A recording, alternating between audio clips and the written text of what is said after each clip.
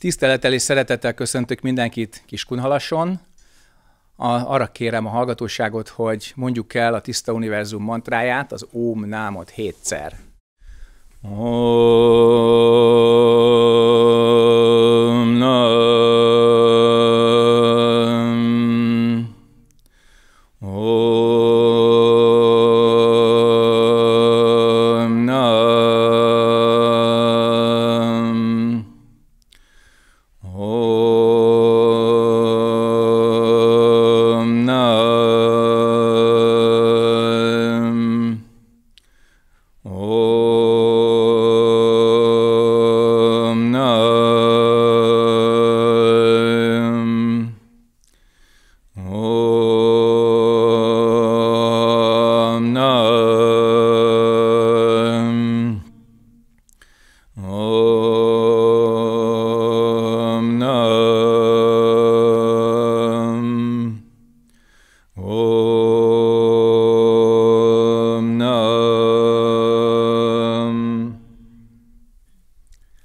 Köszönöm szépen. Gyorsan mondjon valaki egy számot 1 és 208 között. 123-ast hallottam. Ököl. Egyszer Mangong zenmester Dzsonghészát templomban tartózkodott. Meglátogatta egy tanítvány, leborult előtte, és ezt mondta. Mester, amióta ebben a templomban gyakorlok, sok mindent megértettem. Most arra kérem, hogy adjon tanítást arról, ami nem tudható, csak tapasztalható. Mangong zenmester minden teketóriázás nélkül ököllel a tanítvány felé ütött. A mozdulat centikkel állt meg a szerzetes arca előtt. A tanítványnak elakadt a lélegzete, és azonnal elérte a megvilágosodást. Mélyen meghajolt, és így szólt. Mester, köszönöm a tanítást. Kérdések. Mit ért el a tanítvány? Adj tanítást arról, ami nem tudható, csak tapasztalható. Mangong zenmester ökle centikkel állt meg a szerzetes arca előtt. Ez mit jelent? Kommentár. Szokratész Atén utcáit járta, és mindenkinek ezt mondta. Ismerd meg önmagad! Ismerd meg önmagad! Egyik tanítványa visszakérdezte. Mester, te ismered önmagad? Nem, válaszolta Szokratész, majd hozzátette. De én ismerem azt, ami nem ismer. Mangong zenmester válasza és Szókratész tanítása vajon azonos vagy különböző? Ha megtalálod a választ, megtapasztalod igazi önmagad. Ha nem, akkor menj be a konyhába és igyál vizet. Megköszönöm Kecskeméti Szangánk vezetőjének, hogy ilyen szép koant választotta mai bevezetőként. Látom a megrőkönyödést, hogy egy jó buddhista tanítótól, sőt egy olyan kaliberű zenmestertől, mint Mangong Szünyim, hát nem ezt várnád hanem hogy valami gyönyörű kinyilatkoztatással él, és nem pedig ugye ököllel a tanítvány arca felé üt, úgyhogy csak centikkel állt meg a szerzetes arca előtt. Mi az, ami a gondolkodásodat legalább egy pillanatra megszakítja? Mi az, ami a személyes narratívádat egy picit felfüggeszti? Mi az, amikor az elméd megszűnik az ént csinálni? Mangong Szönyi megkérdezhette volna, ki vagy te két gondolat között? Üthetett volna a zembotjával a földre. De ő spontán az ököl bemutatását választotta. A hatás ugyanaz. Van egy ilyen mondás a zenben, hogy mindegy, hogy bódhiszatva vagy démon, de ami visszahoz a pillanatba, az a tanítód. Mit választasz? Ki legyen a tanítód? mi legyen a tanítód. Nézd meg az örömeidet és a bánataidat. Hogyha egy pillanatra megszűnsz jóban és rosszban, mint abszolút kategóriában gondolkodni, ráláthatsz ezen kategóriák általunk teremtett mi voltára. Igen, van szenvedés és van boldogság. Igen, van jó és rossz. De ezeket mi teremtjük. Ezek a tudatunktól függetlenül nem léteznek. Egymás tapasztalatának a tükrében belátjuk, hogy mi a jó és mi a rossz, mi a szenvedés és mi a boldogság. Ezért kell néha bocsánatot kérni, hogyha akaratunk ellenére megsértettünk valakit. vagy spontán valahol sikerült boldoggá tenni egy érző lényt, jaj, de jó, sikerült. Tehát nézd meg azt, hogy a közvetlen tanítás, a realitással való közvetlen szembenézés milyen elképesztően fontos. A zen nem alkot rendszereket. Vannak logikus gondolatívek. Vannak olyan tantételek, amelyek sorrendben rendezhetők. Aki olvassa a zen iránytűt, az látja, hogy igen, van a zennek négy alapelve. Van a négyféle ilyenség. Van a három eszenciális alkotórész a zenben. Van a darma természet gyönyörű énekel. Tehát ezek ilyen nagyon fontos ívek a tanítás módszereiben. De olyan rendszer nincs, amit el kellene hinned, anélkül, hogy tapasztalnád. Nincsenek olyan írások, amelyeket úgy kéne megtanulnod, hogy az a tapasztalatot helyettesíteni. És a közvetlen tapasztalás, a gondolkodás előtti tudat tapasztalása úgy tűnik, hogy ez kultúrákon átnyúló igény. Szokratész körülbelül 120 évvel Buddha után élt. Ezek a születési dátumok közti nagyjáboli különbségek. Ha megnézed a kétféle tanítást, már a ledesztillálódott, érlelt Mahajána szutrákat, például a szívszutrát vagy a gyémánt szutrát, illetve azokat a párbeszédeket, ahogy Szokratész ugye tanít, beszélget a tanítványaival, rengeteg hasonló elemet találsz. Például az endben van a tükröző tudat. A legnagyobb tanítód a természet. Miért? Mert nem szól, és nem szól vissza. Nem szól hozzád, és nem reflektál rád. Elszenvedi azt, amit csinálunk vele, de nem személyes. Képzeld el, ha az lenne, mit kapnánk. De a természet nagyon szépen tükröz. És amikor azt mondod, hogy az ég kék és a fű zöld, akkor egy tiszta, tükörszerű tudattal élsz. Szokratész ezt azért csinálta nagyon hasonló módon, mert ő ezt az elmebéli tükrözéssel igyekezett gyakorolni. Szokásos visszakérdezése volt, jól értem azt, hogy, és megismételte azt, amit a beszélgető partnere az előbb mondott. És kiderült, hogy nem értette jól. Volt, amikor jobban értette, mint a beszélgető partner. Volt, amikor még többet kihozott az adott mondatból.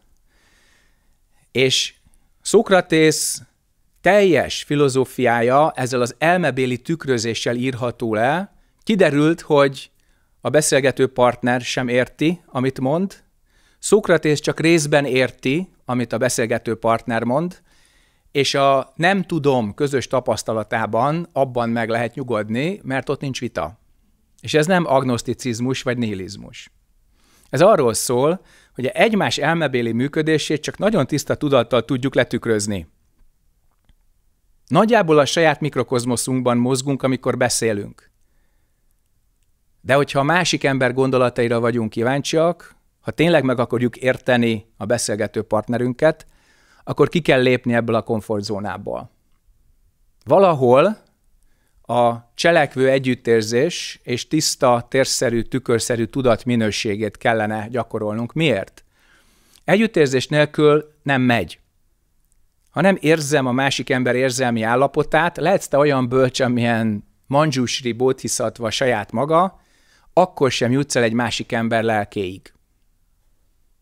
De ha már eljutottál, akkor használd bölcsességgel azt az eredményt, ami így a tied vagy a tiétek. A puszta elmebéli tisztaság megint nem elégséges. A puszta tükrözés együttérzés nélkül ad valamilyen bölcsességet, ez viszont belemegy analízisbe, belemegy okoskodásba, belemegy egy intellektuális útvesztőbe. Nem marad egyszerű, nem marad tiszta. Tehát amikor a tükröző tiszta tudatról van szó, akkor az az emberi lét teljességét magába foglalja, legyen az gondolati, érzelmi, beszédbeli, cselekedetbeli, vagy a fizikai érzékszervek bármelyike, a látás, hallás, szaglás, tapintás, ízlelés. És a zen ezért az érzékszervi hatásokat is felhasználja ahhoz, hogy az úton járhassunk. Nem mondja azt, hogy a látás illúzió, vagy a látás megvakít, vagy a látás elveszi az intuíciódat. Hanem azt mondja a tanítás, hogy ha azonosulsz az érzékszervi tartalmakkal, akkor veszíted el az utat. Mert akkor olyan helyen keresed az identitásodat, ahol az nincs. Van bennünk valami, ami nem mozdul. Nem jön, és nem megy. Nem keletkezik, és nem múlik el. Nem ember, vagy butha, vagy más létező. Ezt úgy hívjuk, hogy látás, szanszkritul vidya. Nem egy fensőbbrendű vagy alsóbbrendű valami, mert nem része a létforgatagnak. Amikor megkérdezték a Tang dinasztia egyik nagy kínai zenmesterét, hogy a buddha természetünk, ez a látás velünk együtt születik-e, vagy sem, akkor azt mondta, hogy velünk együtt születik, de nem lép be a szenvedésbe. Ez azért fontos, mert így testtel és lélekkel mi emberek annyiféle menekülő útvonalat keresünk, hogy az borzasztó. És ezzel a testtel és ezzel a lélekkel te nem tudsz elmenekülni, mert idejöttél, amikor megszülettél, felnősz, megöregszel és meghalsz. Mindannyiunk. Kivétel nélkül. És innentől kezdve mi az, amit elérhetünk ebben a mulandóságban és feltételez kötöttségben? Azt a látót, amelyik nem jön és nem megy, nem születik és nem hal meg, és ez az, ami benned kimondja azt, hogy én. És ezzel vagy a fejlődés, vagy a pusztulás útjára lép. Ha ezt az én fogalmat letisztázzuk, ha kiderül, hogy ez az én, ez a személy miből van, hogyan áll össze, hogyan keletkezik, hogyan marad fönt, hogyan tisztítható, hogyan cserélhető, akkor az én fogalmunk világos, a személyiségünk jól rendezett, és nem félünk, és nem félemlítünk. Ha ez az én fogalom nem világos, akkor azonosulunk azzal, amely egyébként nem az identitásunk, csak felvett illúzió.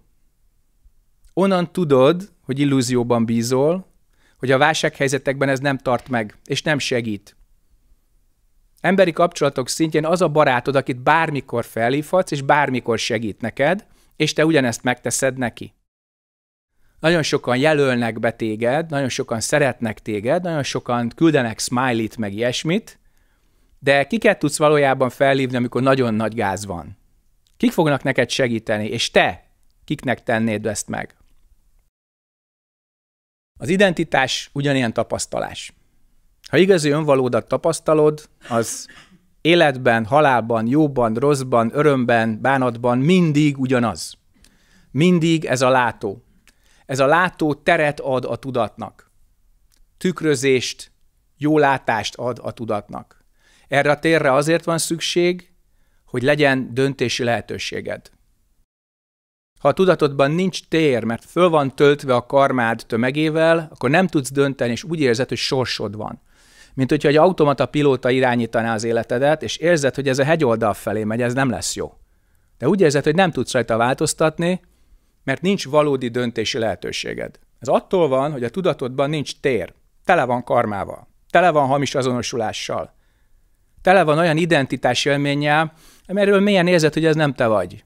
Ezek szerepek, amelyeket felvettél, rádosztottak kényszerből vagy kicsi szabadságból, ami aztán gyorsan eltűnt. De nem találjuk a rendezőt. Nem találjuk azt, hogy ez a színpad, ez hol kezdődik és hol végződik. Nem találjuk azt a gombot, amivel a tévéadást ki tudnánk kapcsolni. És ahhoz, hogy tényleges döntési lehetőségünk legyen, ahhoz a tudatnak, tisztának, térszerűnek és tükörszerűnek érdemes lennie. Nem kell, nem kell. Ez a te döntésed. De hogyha minőséget akarsz, akkor azért meg kell dolgozni, és meg kell küzdeni.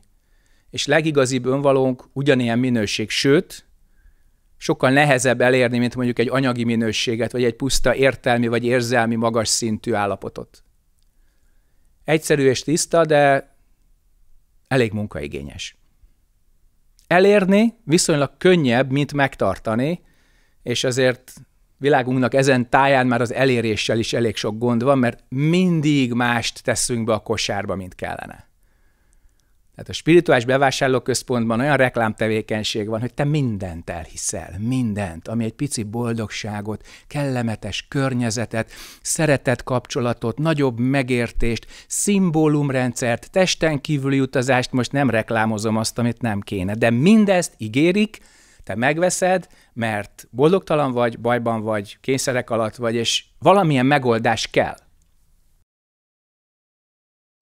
És az elején úgy tűnik, hogy a zen az egy kicsikét aszketikus, eszköztelen, ja nem eléggé emberbarát út, mert itt rögtön egyből nem ölelgetnek téged, és nem fejezik ki azon nyomban, hogy én téged szeretlek és elfogadlak, mint érző lény, mint ember.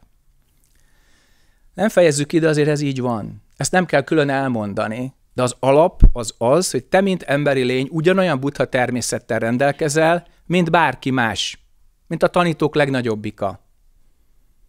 Nem rögtön a gyümölcsoldallal kezdjük, hanem hogyha a fának az eredetét keresed, akkor azt az aprócska kis magot, csemetét kellene megtalálni, amiből az a hatalmas fa kinőtt.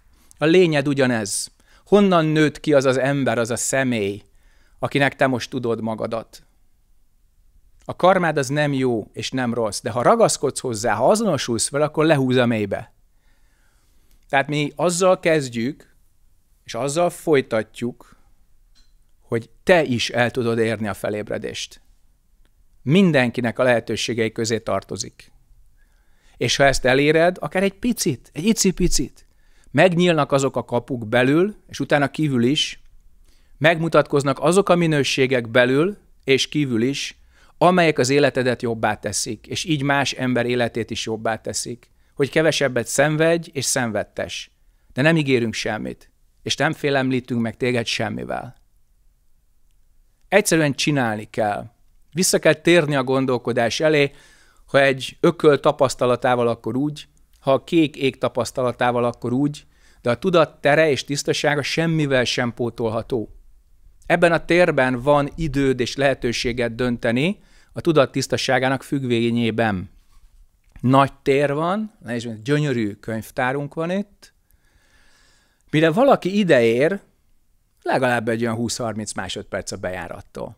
Van időd eldönteni, hogy kezet fogsz vele, beszélsz hozzá, vagy sem. Hogyha valaki rögtön az ajtóban így megtalál téged, egy másodperc, és már ott is van. Nézd meg a saját világélményedet. Nézd meg a saját kapcsolati hálódat.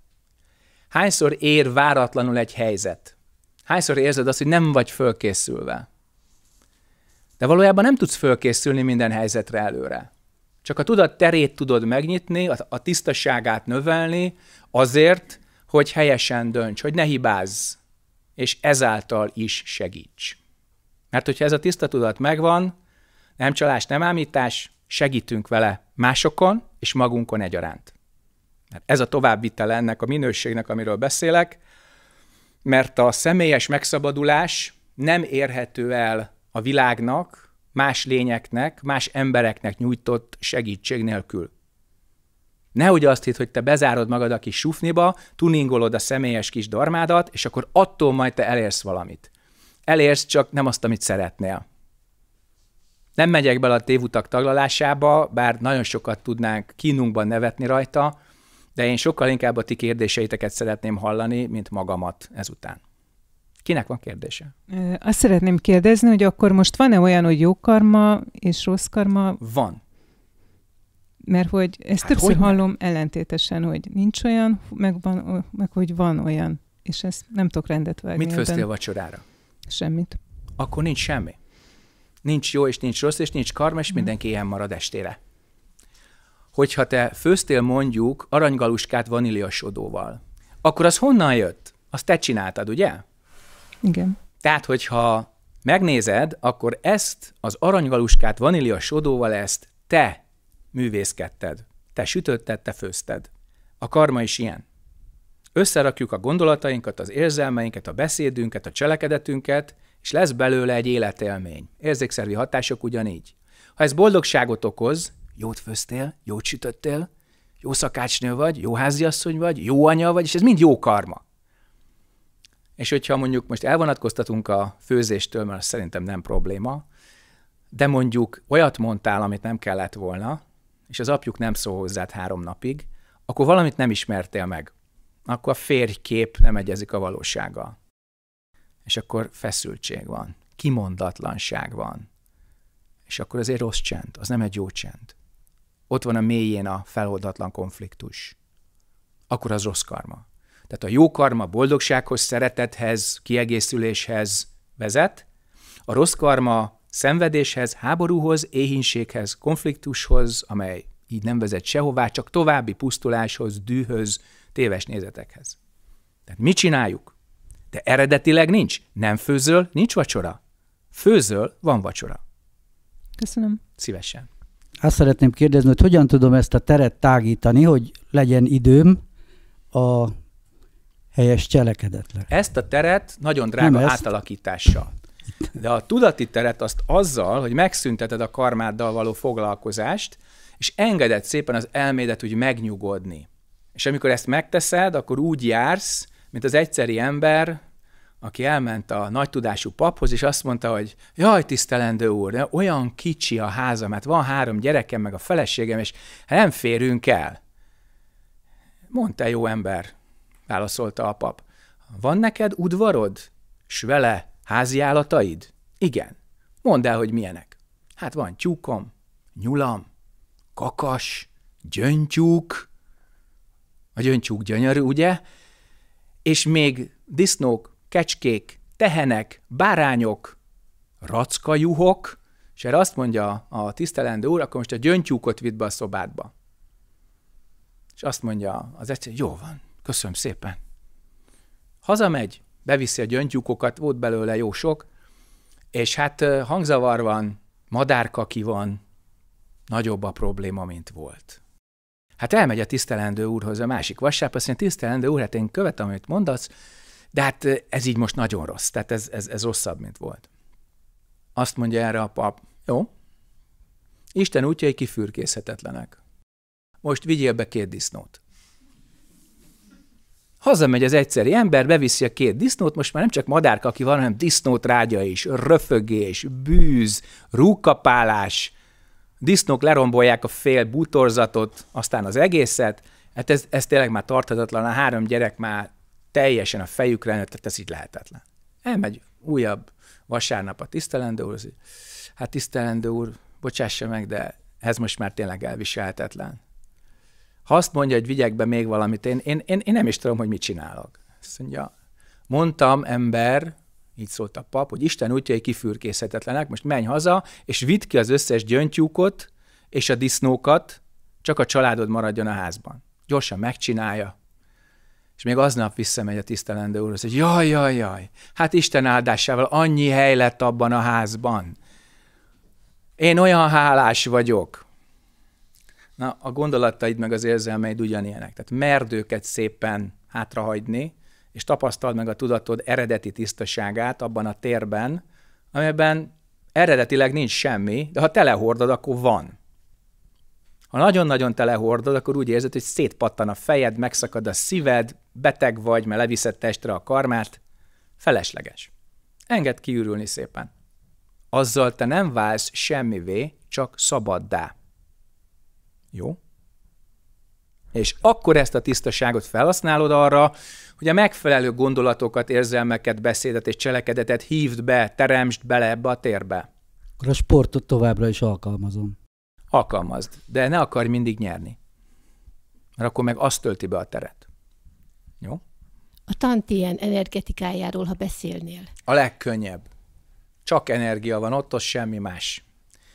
Tehát a köldökcsakra az a pont, ahol még vagy már, nézőpont kérdése, nincs mentális differenciálódás. Nincsenek gondolatok, beszéd, érzések, elfolytott érzelmek, gombos tűzszúrás gyomorszájon a kis napfonatot környékén, vigyázzunk a hasnyálmirigyre, nem folytjuk el a félelmeinket, aggodalmainkat. Látjuk, jó?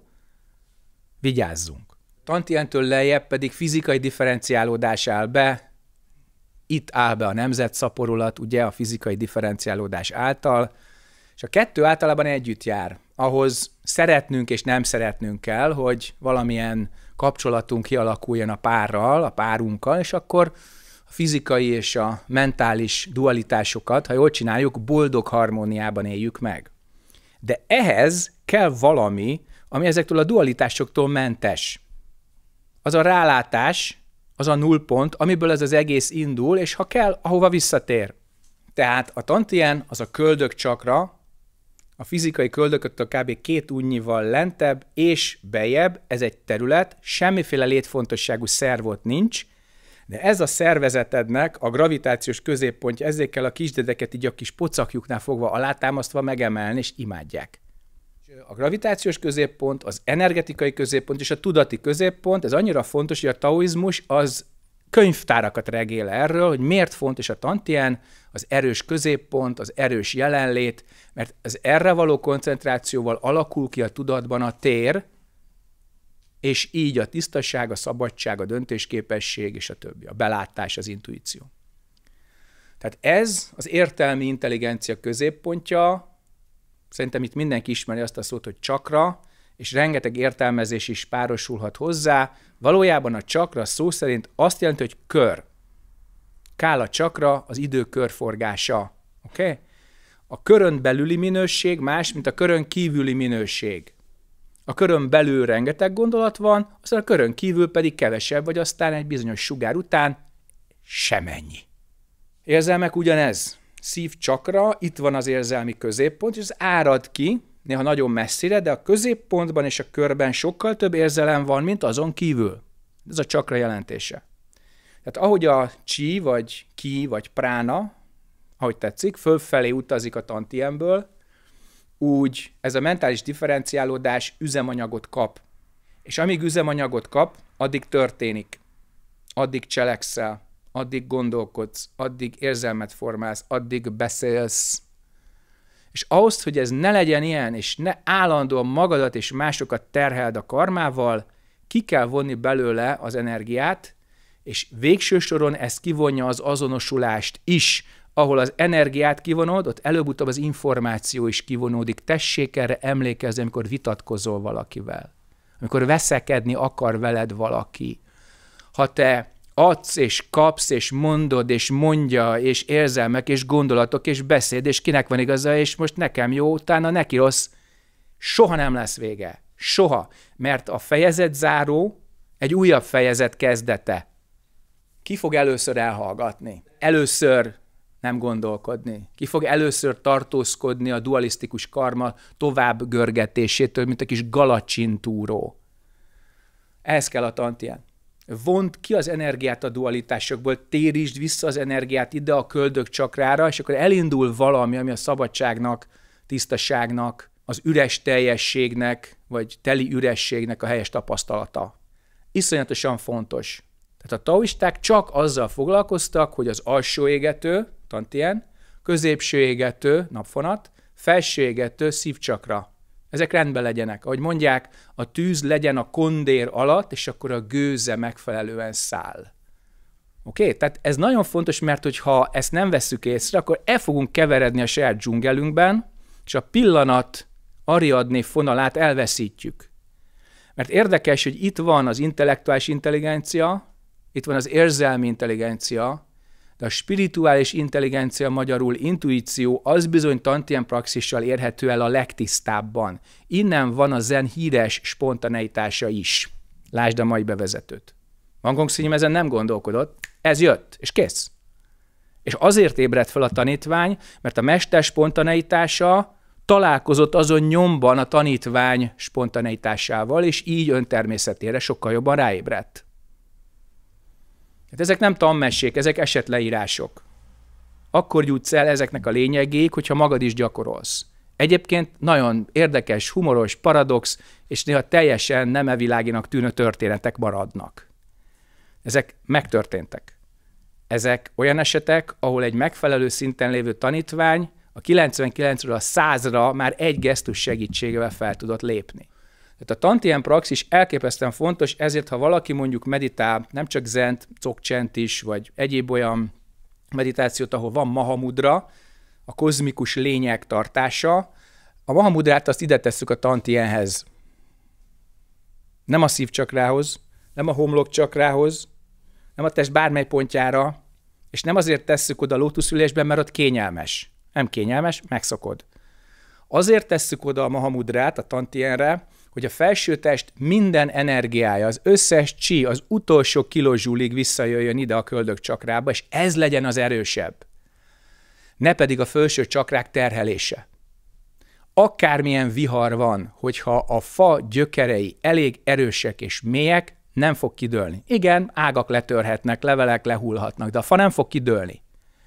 Mihelyt a gyökere gyengébb, mint a törzs és a korona összterhelése, ki fog dőlni. És a mai életünkre nagyon jellemző az, hogy túltöltjük a homlokcsakrát, túl sokat gondolkodsz, túl sokat beszélsz, túl sokat érzel, túl sok a nulla és az egy, és a like, és a smiley, és akkor ez a tantien, ez nem, hogy elgyengül, el is felejtett, hogy van. Honnan lehet ezt tudni? Ránézel egy emberre, és a szemében valami egész más van, mint egy normál humán jelenlét. Ilyen elképesztő káosz van a szempillantásban is. A jelenlét pedig olyan, mint hogyha ilyen láthatatlan biliárdgolyókkal dobálóznának a sártenger közepén. Ez azért van, mert a tudat nem tiszta. Azért van, mert nincs benne tér, és nem tud tükörszerűen működni. Lerakódott rajta a saját karmája, mint a guánó, keményen, vastagon, sőt, még azonosul is vele. Tehát ezért ilyen fontos a tantien praxis, hogy végre-végre teremts teret a tudatban, szüntesd meg a hamis azonosulást, engedd a karmádat kiürülni, és akkor innentől kezdve van minőségemelkedés. A tantien az a zenben az az alap, az a középpont. És hogyha megfelelően gyakorolsz, akkor a csi mindig lefelé jön itt, és ugye a háton fölfelé. A tantien légzés az csak orron ki és orron be, lefelé irányítva a figyelmedet, ezért szokták például az avatatlanok és a nem szakértők köldöknézéssel azonosítani a zent. Nem nézed a köldöködet még tükörből sem, arra figyelsz. Ahhoz nem kell tükör, ilyen fizikai foncsor, csak a figyelmet kell. Onnantól kezdve, hogy ez számodra fontossá válik, és elkezdesz zen gyakorolni, nincs elveszett pillanat. Nincs olyan helyzet, hogy ne tudnál a tantienedre fókuszálni. És akkor ez a körforgás, ez nagyon természetesen indul, és folytatódik, és itt inkább lefelé megy az energia, semmint fölfelé, mert az összes szívinfarktus, az összes torokszorítás és pánik, és az összes agyvérzés az úgynevezett hirtelen felfelé szálló csíből van, koreaiul ezt szanginak hívják. Szó szerint felszálló ki. Tehát amikor az itt lévő információ magához rántja az energiát, és túl sok az ellentmondó érzelem, szívinfarktust kapsz. Ugyanez az agyvérzéssel, amikor olyan mennyiségű elmetartalom halmozódott föl, hogy van egy utolsó csepp a pohárban, egy utolsó feloldhatatlan ellentmondás, egy utolsó túlgondolás, és a csit fölfelé rántja a kránium, és egy ér szétpattan. Agyvérzés. Ezért kell megfelelő energiaáramlással és az információ tartalom gondos megválasztásával test és lelki egészségünket óvni. Ennek egy nagyon jó talpontja, kezdőpontja és menedéke a tantien praxis. És százalékban kifejezve, tehát az életünk, vagy egy napunk mondjuk hány százalékában célszerű? Száz. Száz. Jó, köszönöm. Meglep? Nem. Örülök. Köszönöm. Egyéb kérdés?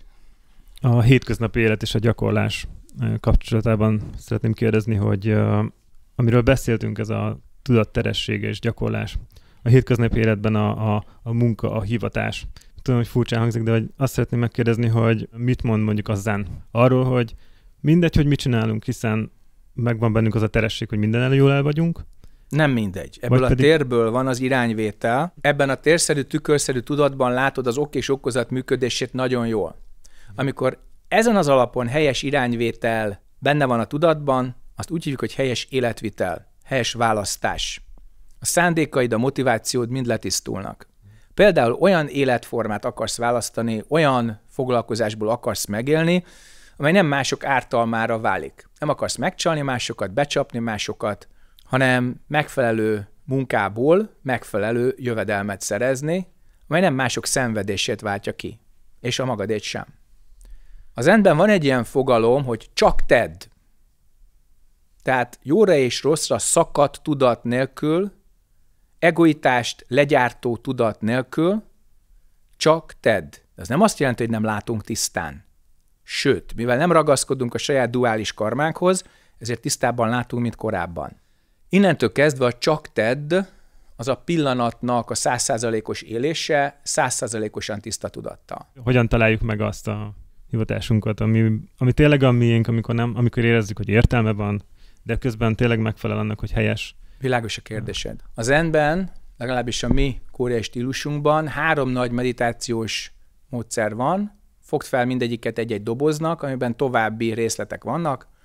Az egyik a mantra praxis, a másik a tér és a hang fölfogása, vagy a tér és a rezdülés fölfogása, és a harmadik a kérdéssel való munka. Az első kérdés mindig a mi ez. Tehát mi az, ami lát a szememmel, hall a fülemmel, érez a szívemmel, és végső soron kimondja bennem azt, hogy én. Mi ez? Kimondhatná azt németül, hogy ich, vagy angol azt, hogy I, paruski ja. Ne felejtsd el, még lehet, hogy szükség lesz rá. Amikor arról van szó, hogy az én fogalmat is ez gyártja le, akkor a kérdésnek a forrása végső soron igazi önvalód. Tehát elérsz a gondolkodás előtti tiszta tudatig ezzel a mi ez kérdéssel. Amikor ez már egy bizonyos mértékig világossá vált és megvan, akkor lehet elkezdeni dolgozni ezzel a tükörrel, mert már nagyrészt helyeset mutat. Már nem annyira torz, meg törött, meg rétegesen van rajta a karmát szépen, így színesen. És akkor már a tárgyas kérdés is elindulhat, ami a te esetedben a mi a dolgom. És akkor, ha tényleg tiszta a tükör, akkor nem a saját berögződöttségeidet, meg családi karmádat, meg csoportkarmádat ismétled, hanem rálátsz arra a karmára, amit te magaddal hoztál. És annak a kiadása, vagy módosítása, vagy fejlesztése az lesz a dolgod. Van, aki olyan szörnyű karmát hozott magával, hogy meglátja, és hogy úr, Isten, hát ezt nem, hogy megtenni a külvilágba, el sem merem gondolni, hogy én mit hordozok. Azt kell kirakni. Ezért szép a nem azonosulás, és hogy eredetileg nem főztünk vacsorát, de ha főzünk, akkor van. Eredetileg nincs karma, de ha legyártjuk, akkor van. Addig van, amíg föntartjuk. Mihelyt az azonosulást, tehát információt, és az energiát kivettük belőle, az a karma elkezd szépen oszlani, csökkenni, eltűnedezni, és egyszer eltűnik, akkor és csak is akkor, hogyha zéró energia és zéró információ lesz benne. Akkor eltűnik. És a mi a dolgom, ha tényleg a lelked mélyéről érkezik, az egy tiszta valami lesz előbb-utóbb. Onnan tudod, hogy a kérdésre az igazi választ kapod, hogy akárhányszor teszed fel a kérdést meditációban, nyugodtan, mint egy ilyen követ raknál így szépen egymásra, ugyanaz lesz a válasz. Már nincs szeretem, nem szeretem. Már nincs idea, már nincs illúzió, már nincs az, hogy akarom vagy nem akarom. Csak az van, hogy mi a dolgom, és ugyanaz jön mellé. Én azt szeretném megkérdezni, hogy beszéltünk a dolgokról, ugye, hogy elragadják az embert, és, és hogy ezen túl kell lépni. De mit tegyek akkor, hogyha valami annyira fölém kerekedett, és annyira elvitt, hogy már nem tudom, hogy hogy tudnám leküzdeni. Nem tudom, hogy tudnék megszabadulni. Mi legyen az? Tessék? Mi legyen az, ami annyira elragad, hogy Gondok már az problémák. általánosításoknak a mezejéről is nehéz visszajönni? Gondok, problémák, amiket nem tudom, hogy fölöttem vannak jelenleg. Mondj egyet. Párkapcsolati gondok, munkahelyi gondok. Maradjunk a párkapcsolatnál. Mi a részed egy párkapcsolatban? Hát kiegészíteni a másikat, együtt lenni vele. Kicsikét egyszerűbben fogalmazva, a te részed a férfi rész a párkapcsolatban, így van? Igen. Nézd meg, hogy te milyen férfiként működsz annak a nőnek az életében, aki a párod. Nem az, hogy te mit gondolsz magadról, hanem hogy ő hogyan érzékel téged, mint férfit, és nézd meg a kettő közti különbséget. Ott a probléma gyökere. Köszönöm. Szívesen. Nekem az lenne a kérdésem, még visszatérve a főzés és karma hasonlathoz, hogy mi van, hogyha már nem merek főzni, mert ki tudja, mi lesz belőle, hogy ilyenkor mi a teendő ezzel a félelemmel. Előbb-utóbb mindenki éhen marad. Aztán az éjség nagyobb lesz, mint a félelem, és újra főzöl. Köszönöm. Szívesen. Ismernem kell az okot ahhoz, hogy az okozat megváltozzon? Már ismered. És ha nem tudom, hogy ismerem? Akkor nem akartad megismerni. Ha látod az okot, egy lépéssel vissza mindig tudunk látni, hogy közvetlenül az miből jött. Lehet, hogy három, négy, öt, hat lépésre vissza nem látunk, vagy előre, de közvetlenül az azt megelőző okot mindig látjuk, de néha nagyon nem szeretnénk. Nem, nem a probléma gyökere a fontos, hanem pont, pont az előző lépés. Hol van a probléma gyökere? A probléma gyökere mindig ebben a pillanatban van. mindig mi saját magunk egy személyben hozzájárulunk a problémához, akár mint elkövető, akár mint felmentő. Nem a múltban van a gyökere, és nem a másikban van a gyökere.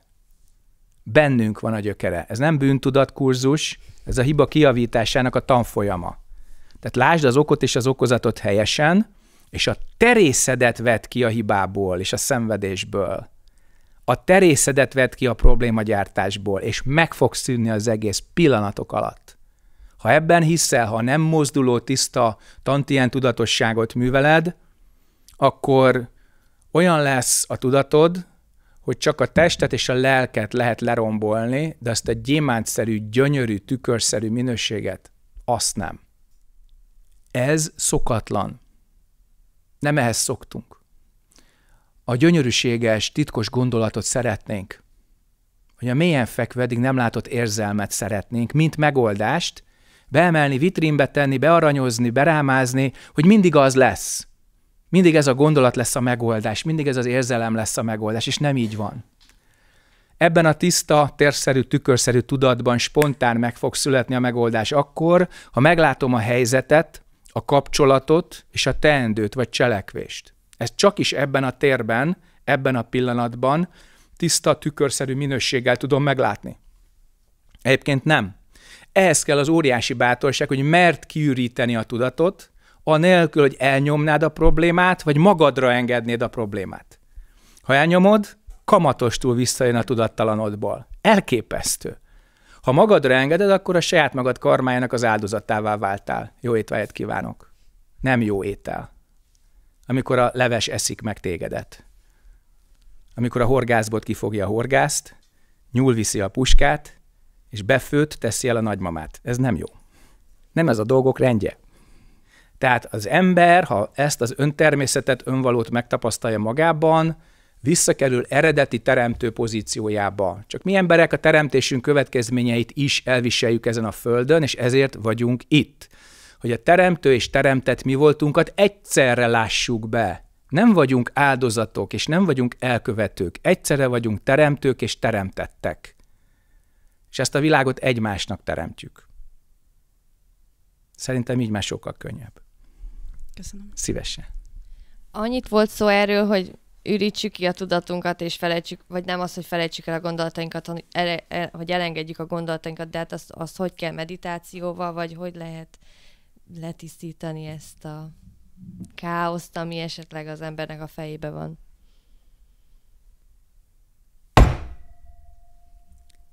Amikor ezt a hangot hallottad, nem volt gondolkodás. Csak ez az impulzus, hogy abban a pillanatban mindenkinek a tudata visszatért a gondolkodás elé, mert az ütés megszakította a narratívát, a folyamatos gondolat áramlást, és a meditációs módszer, amelyet az előbb említettem, legyen az mantrapraxis, a kérdéssel, vagy a tér és a hangok felfogásával működő meditáció, mind a három elhozza ezt a tapasztalást. Ez három ajtó ugyanabba a szobába. Ugyanaz lesz az eredmény. De a lelki beállítódás és egyéni karma kérdés, hogy melyiket tartod hatékonyabbnak, vagy éppen hozzád éppen alkalmasabbnak. Jó, köszönöm. Szívesen. Ha úgy érzem, hogy ö, valamit tennem kell, ö, honnan tudhatom, hogy azt a karmám miatt érzem, vagy intuíció? Honnan lehetek benne biztos, hogy mi a gyökere? Mondj egy példát. Akkor karma. Tehát egy nagyobb krízist kell előidéznem a, a saját életemben. Szeretnél? Az is krízis, hogyha megmaradok az állapotban. Akkor már nem kell előidézni, mert előidézted. Igen. Honnan jött ez a krízis? Mondd meg nekem. Hát gondolom én teremtettem. Akkor az karma vagy sem? Mm, Valószínű. De kis bátortalan, hát az előbb ilyen krízis, meg megváltoztatom, meg karma, meg intuíciát. Nézd meg közelebbről, alaposan. Ami keletkezik, ami megszűnik, ami kritikus, ami boldogságos, az mind karma. Mind, mind, mind. De ami ennek az irányát megszabja, az időzítését megszabja, a minőségét megadja, na az az intuíciód.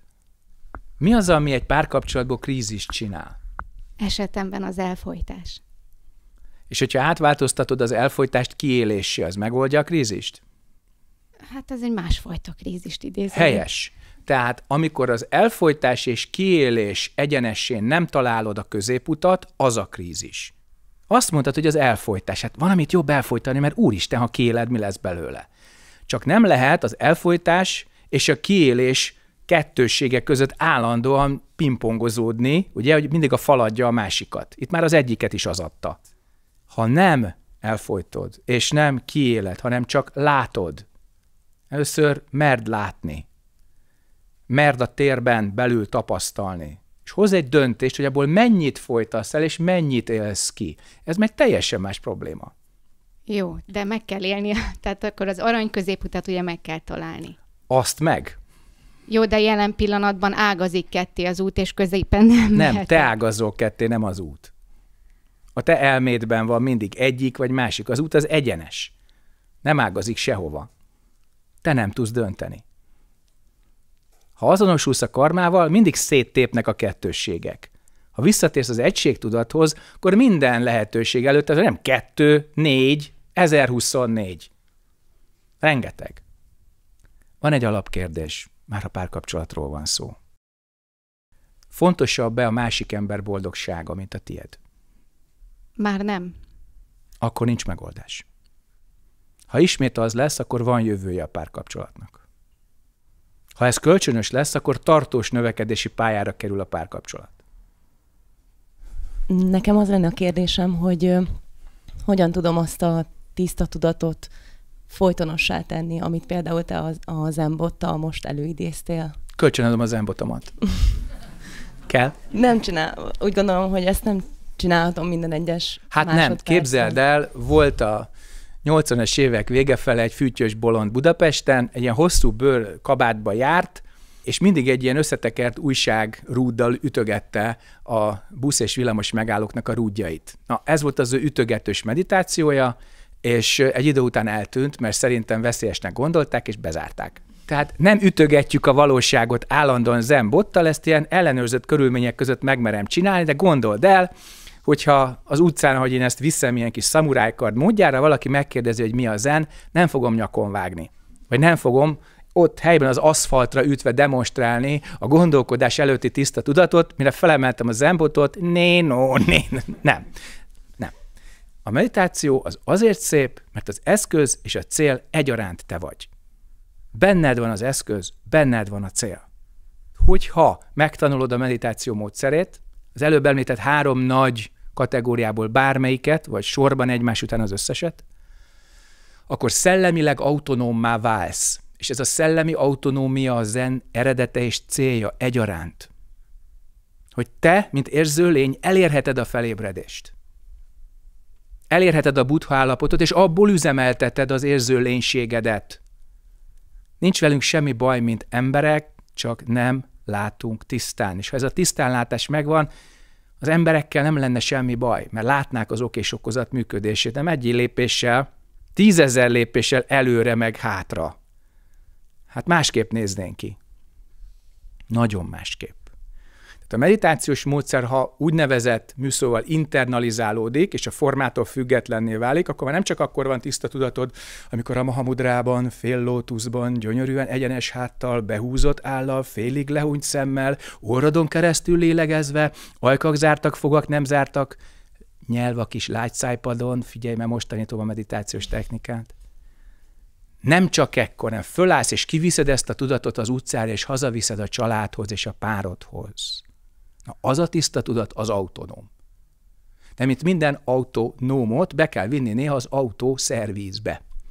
Tehát néha visszajössz a formális meditációba, a közösségbe, esetleg a templomba, és akkor egy kis tisztítás, egy kis erősítés az kell neki, aztán megint mész és teszed a dolgodat. És mielőtt a sárga motorlámpa kigyullad, ugye, azelőtt tessék szíves újabb olajcsere, újabb szűrőcsere, újabb futóműállítás, megnézzük azt a hajtásláncot, nehogy a katalizátorba beleduguljon valami, különben nem tud a karmádat transformálni, csak pufogsz. Oké? Okay? Köszönöm szépen. Szívesen. Beszéltél a, az én vesztésről, és az énről, bocsánat, az énről. Önképvesztésről inkább, Önkép, igen. igen. És ezt az önképvesztést, ez milyen módszerrel, technikákkal lehet elérni? Nagyon sokféleképpen. Mondj nekem egy rendezetlen emberi kapcsolatot a saját életedben. Párkapcsolat. Ott már Igen. volt akkor önképvesztés, csak bírt ki. Tehát, hogyha tényleg válságos a kapcsolat, akkor használd fel ezt a válságot egy mélyebb önismeret és más ismeret megszerzésére. Amikor tényleg nagyon nagy gáz van, akkor vedd a bátorságot, hogy leülsz a szeretett, vagy a közelmúltig szeretett személlyel szemben, és megkérdezed, hogy kinek látsz engem? Ilyen kis biztonságos távolságból, semmi nincs az asztalon.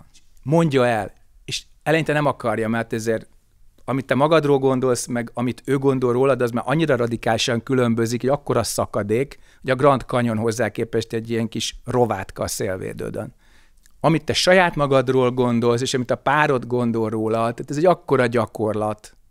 Az önképveszést, ha itt nem áll be, akkor te vagy maga Manjusri, a bölcsesség bódhiszatvája, a maga nem dualisztikus, gyönyörű tudatával.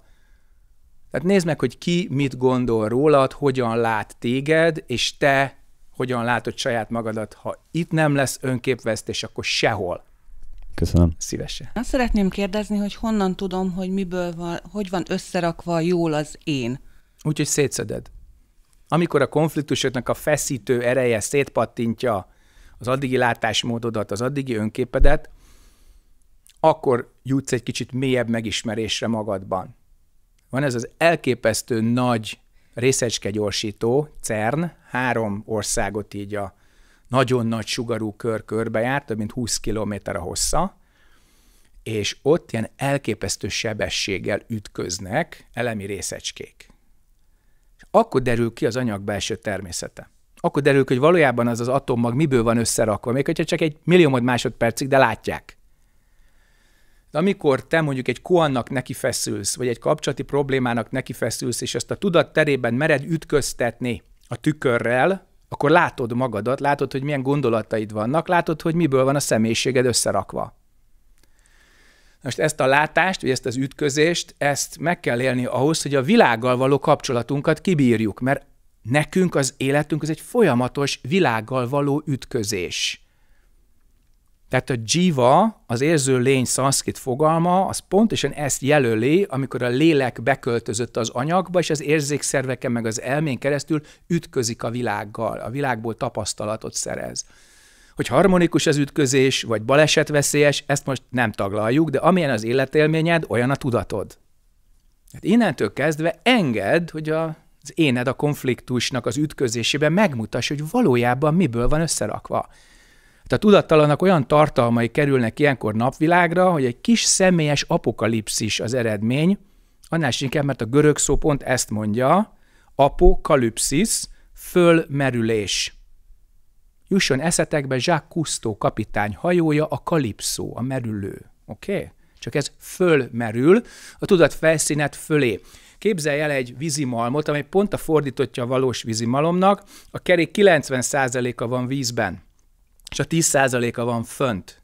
Nem a víz hajtja a malmot, hanem a létszomnak a tengerre gyakorolt hatása forgatja a kereket. A 90%-nyi magasságú víz az a tudattalanod. Ami fölmerül belőle, az a 10%-nyi az a te tudatosnak érzékelt személyiséged. Amikor megkérdezed, hogy mi ez, vagy ki vagyok, akkor elkezd az ember belelátni ebbe a vízbe, és elkezd a kerék úgy fordulni, hogy ami a tudattalamból fel kell, hogy merüljön, amit meg kell, hogy láss, azt meg is látod. Mi a cél a zenben? A pillanat tisztán tartása. És az az érdekes, hogy minden, ami ennek a tisztaságnak az akadálya, a szennyezettség, az mind a felszíne kerül. Tehát neked nem kell utaznod sehová. Nem kell regresszálni a múltba, nem kell progresszálni a jövőbe, nem kell speciális állapotokat fölvenni. Próbálj meg tiszta tudattal itt és most létezni. Majd meglátod, hogy mi gyűn föl a felszín alól. Volt régen egy trónörökös, hát ahogy a kínai udvarokban szokás volt, mindig volt egy ilyen udvari szerzetes, egy ilyen nagyon-nagyon komoly gyakorló, akinek olyan hatalmi karmája volt, hogy a szerénységét és az alázatosságát ilyen egész estét betöltő udvari szerzetessé érlelte, És akkor őket szokták az ilyen királyfiak és királyleányok megkérdezni, vagy apuka szólhat, akkor szifu, vagy huasang, legyen szíves, tanítsd a gyereket. És egy trónörökössel pontosan ez történt, a fiú megkérte így a tizenéveinek a végén, hogy Huasang, legyen szíves tanítani engem, mert én trónra fogok lépni, és egy országot fogok kormányozni. És megkérdezi a szerzetes, felséged mi módon szeretne kormányozni? Azt mondja a fiú teljes őszintességgel, bölcsességgel és szeretettel szeretnék uralkodni népemen. Kitűnő felség. Akkor megkérem, hogy foglaljon itt helyet, kicsit engedje el a szempillantását, és ezt a két négyzetméternyi helyet most uralja a figyelmével. Eltelt tíz perc, és a trónörökös felállt, és azt mondta, Haszang, nagyon szépen köszönöm, elmegyek apámhoz, és megmondom, hogy nem léphetek trónra. És erre a szerzetes azt mondta, miért, felség? Ha tíz percig nem tudtam két négyzetmétert uralni a figyelmemmel, és mindig elkalandoztam, és mindig másra gondoltam, hogy tudnék egy országot kormányozni bölcsességgel és szeretettel? Nagyon köszönöm. Szívesen. Sokszor szóba került a kapcsolati válság a mai alkalommal. Hát nézd meg, a vacsorán kívül ma másról se volt szó. Tehát Igen. valahogy ez dobta a gép, hogy én nagyon örülök annak, hogy itt szerzetesként fungálhatok, és mindenki a párkapcsolatról kérdez. Ez egy fantasztikus paradox az én életemben, és lehet, hogy tennem kell valamit ez ügyben, mert ez így előbb-utóbb tarthatatlan lesz.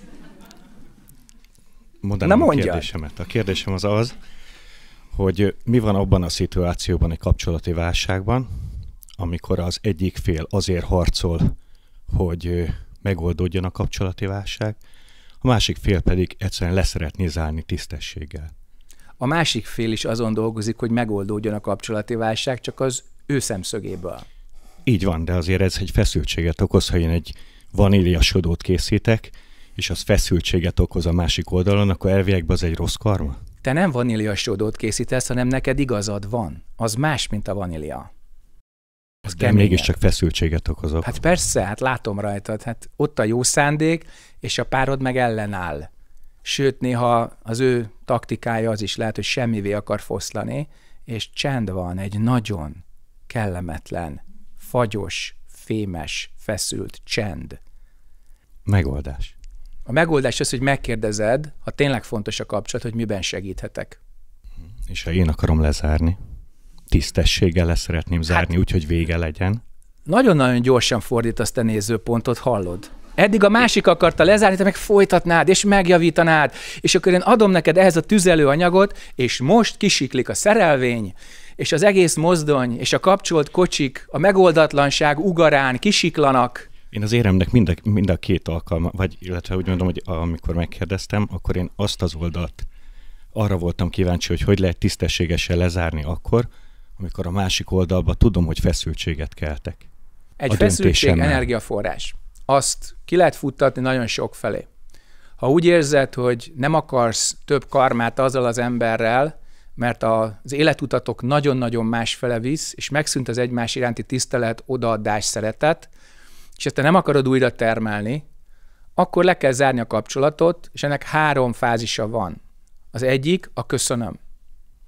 Tehát a hála azért a sok jóért, örömért, szeretetért, amit a másiktól kaptál.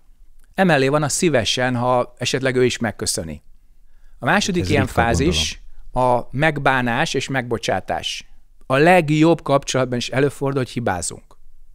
Ha jó a kapcsolat, akkor akaratunk ellenére. Épp kicsúszott a számon. Épp megtettem. Vagy épp olyat gondoltam, hogy úristen, hogy gondolhattam ezt róla? Vagy érzések. Meg kell bánni azt a hibát, amit elkövettünk. Amit nem követtél el, azt ne, mert a hamis megbánással elköveted azt, amit nem követtél el.